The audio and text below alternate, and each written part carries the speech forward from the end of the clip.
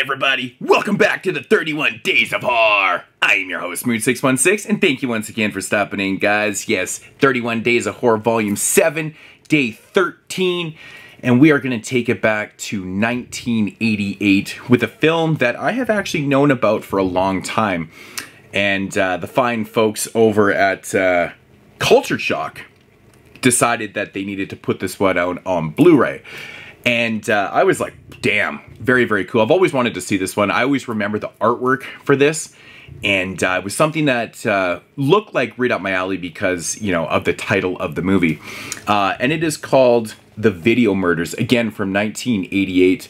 Uh, this is uh, directed by Jim McCullough who actually directed Mountaintop Motel Massacre in 1983, which, you know, isn't a phenomenal film or slasher film, but it's a fun one.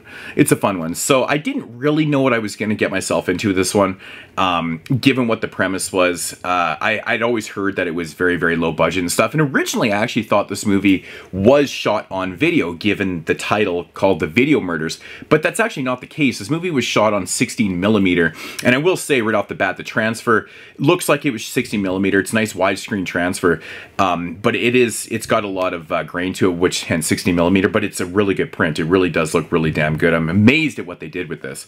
But um, but yeah, the video murders here. Um, so it follows our main character, uh, David David Lee Shepard, who is essentially a serial killer. Um, he's got a lot of mummy issues. He's uh, he's got a lot of aggression issues. He once had a small video store, video business, stuff like that, that kind of went under. And ever since then, he's kind of been losing his mind a little bit. So what he does is he basically lures in uh, prostitutes and, and other women into hotel rooms where he videotapes himself strangling them to death. Essentially, he is a serial killer. Um, of course, the police get a beat on him and things like that, and they kind of find out who he is. Uh, one day he goes to strangle a woman, she gets away, and then, you know, the pursuit is on, basically. So that is the premise of the film. Now, my thoughts on the video murders. Um, first up, it's a very low budget film. It's got a very small cast. Uh, what's the lead actor? I'm just going to actually throw this over here. Um, the guy, Eric Brown, who plays the lead in this film, he plays David Lee Shepard. Uh, he's actually from Waxburg. Um, first up, I at first I wasn't 100% sure on his performance. It, it seems like he's overacting and it almost seems like he's really shaking stuff. But as the story progresses, I understand why he's playing this character the way he is. It's really, this movie is more or less uh, character, it's like a thriller character study than a full-blown horror film. It's like a lot of these serial killer type films. The way they're projected to the audiences, they almost feel more of like a drama thriller-ish. I don't know if you guys have ever seen the the set of serial killer films that came out, what, 2004, 2005. They did one on Gacy and Bundy and Dahmer and, and Ed Gein and stuff like that. Those were all kind of low-budget films that were based on, they're kind of like minor, minor biopics of the serial killers and stuff like that. Focus on, you know, characters and stuff like that this one's kind of like that. You know, he they really do kind of focus the character. Um, they do a full blown character study. Right away, I instantly thought like his character was must be based on Bundy because you know what he's doing to women, he's strangling them and stuff like that. It actually does even say on the back that it's uh, in the vein of Ted Bundy, which I noticed before I was doing this review, which makes complete sense. It really does have that type of feel to it. Um, so it's it's a very low budget film. It looks low budget. There is a lot of different locations and stuff that they shoot in. There is at times where it does have this kind of like odd video, like music video quality to it. There's actually a scene where he's in a bar and there's a band playing on stage and it's so fucking 80s. It's just incredibly 80s, but the music is really cool in the film. Actually, in fact, the soundtrack and the score are fantastic through this whole movie. I think the music really does fit the um, the atmosphere and and what we're being showcased here in the film. It really does fit very well. Which is one thing I was kind of a driving force in the film for myself. And uh, as you know, as the movie progressed and stuff, the, the character um, made a lot more sense. And you know, I think that the script could have been a lot more.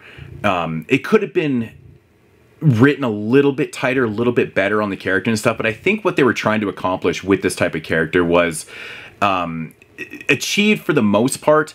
I think that they they get a little bit lazy towards the end and they try to explain things a little bit too quick and stuff like that. Against there's a lot of there's a lot of budget constraints within this film because there is a there's a police chase scene in the film that must last like 25 minutes in the end of this movie and it kind of wraps itself up pretty quick um, and it's not even like a crazy like Ronin type car chase scene.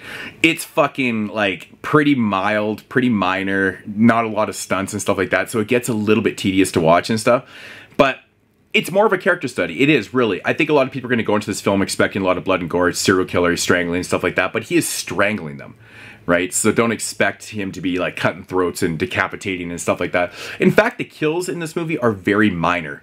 Um, in fact, they're almost to the point where you can almost say they're almost off screen. Like he's doing it, but then it kind of cuts away and things like that. So it's not very exploitive in that aspect of the violence, the on screen violence and stuff, which kind of shocked me a little bit, being called the video murders. And the artwork's so damn cool. You're just expecting a lot more from this. Um, the character cracks me up though. He is so damn blunt. Like he'll bring a woman into his into his hotel room and she'll be like, oh, there's a, he's not even trying to hide the video camera. He's like, yeah, I'm just going to videotape you. He's just like, yeah, that's what I'm going to do. And he's just being a dick about it and stuff. And okay, I guess we're going to do some videotaping kind of thing. It's just, it's like ridiculous. But, but I mean, where this thing goes and like why he's doing what he's doing and stuff like that is, I think it's very reminiscent of a lot of a lot of people that have these type of um, these type of lives that become serial killers and stuff. They do suffer from a lot of mummy issues and things like that. And I think that's really what the point is of the film is to showcase that this does happen to a lot of like kind of regular people and stuff like that too. Maybe not regular in the sense of being regular, but you know what I mean. Um, there is there is a point where people do break and i think that's what it's showcasing it starts out with him breaking and it goes into a very very dark place and stuff but um but overall you know the movie isn't bad. It's really not great. It's not bad. Um again it doesn't run that long. It runs 88 minutes. I think the credits kick in about 82 but i will say though i mean once that police chase starts at the end of the film and it goes on for 20 25 minutes or whatever the fuck it is that's when it does seem like it's kind of dragging and stuff. There is a little bit of filler throughout the film and stuff. I really do wish that they had have put a little bit more kills and i just kind of more focused strictly on him and his mental downfall. Like his his mentality is just broken from the start but and like he's very he's just down and out. I wish they had have kind of focused a little bit more on that instead of the procedural police investigation parts and stuff like that. I think again it's budgets. They could only really do what they could do probably with the script and stuff. So um again totally watchable. I think that uh, a lot of people might be a little bit thrown off by by um by Brown's performance as a serial killer at first, but I, I got it by the end of the film. So, with that said, I'm going to come in at about an 8, an 8. I'm going to come in at about a 6 out of 10 on this one. Again, it's totally watchable. I actually really do like the look of the film. I like the 60 millimeter, and I was amazed it wasn't shot on video. I completely thought I was going into this watching shot on video until it says uh, 4K scan on the 60 millimeter. I was like, oh shit, this isn't video. So, crazy does look really good. I will say the transfer is fantastic on this. I mean, for a 60 millimeter print, it has all the grain there. It's nice and clear. There's no, there's no distortion, no discoloration within the print. It looks really good. So, um, so I think honestly, man, I think the probably the best thing about the movie is actually the artwork, which is actually the original artwork to it. So, which is pretty cool. But uh, it's definitely worth a watch. It's just not gonna blow your mind. It really isn't. Um, I'm a big fan of these low budget serial killers. There's been lots of them done over the years. There was, you know, there was a low. I can't remember the, Intervision released one on Dahmer in the, from the early '90s. It's escaping my mind. My Secret Life is to Jeffrey Dahmer. I think that was another really good one. But there's a lot of really good ones. This one's obviously based on a fictitious uh, serial killer, but kind of based on Bundy and stuff like that. But anyways the video murders from 1988 decent film um, really good release from from culture shock who's putting out just nothing but gold like for releases. Like this is it's a really damn good release but they're putting out some pretty damn obscure films and stuff like that. So check out culture shock from sister label from uh, from vinegar syndrome which uh, just burning holes in my pockets man. They're killing me. Expensive so but anyways guys that's gonna do it here for day what am I on day 13? Yeah, day 13. So I'll check you guys later. See you tomorrow on day 14. And as usual,